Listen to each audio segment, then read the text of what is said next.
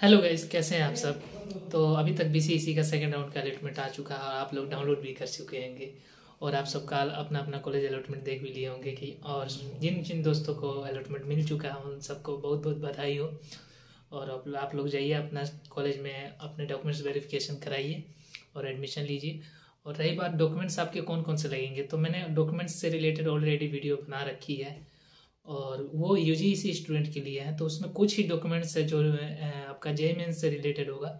वही डॉक्यूमेंट्स आपके उस, आपके इस काउंसलिंग में नहीं लेंगे। उस डॉक्यूमेंट्स की जगह आपके इस एग्ज़ाम के रैंक कार्ड एडमिट कार्ड सब सब लगेंगे। और maximum documents same to same लगेंगे।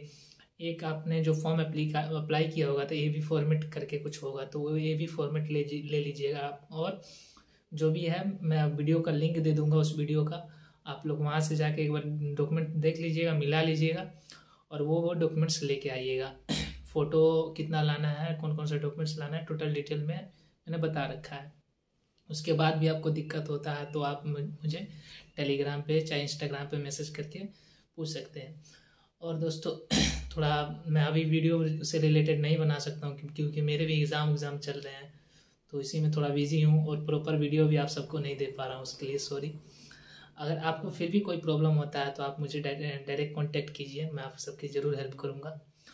और दोस्तों, आपसे एक रिक्वेस्ट करना चाहता हूँ कि आपको मेरी वीडियो से थोड़ा भी मदद मिलता है ना तो अपने दोस्तों के साथ शेयर करें और वीडियो को लाइक करें सब्सक्राइब करें। चलिए, धन्यवाद दोस्तों। मिलते हैं नेक्स्ट वीडियो में। बाय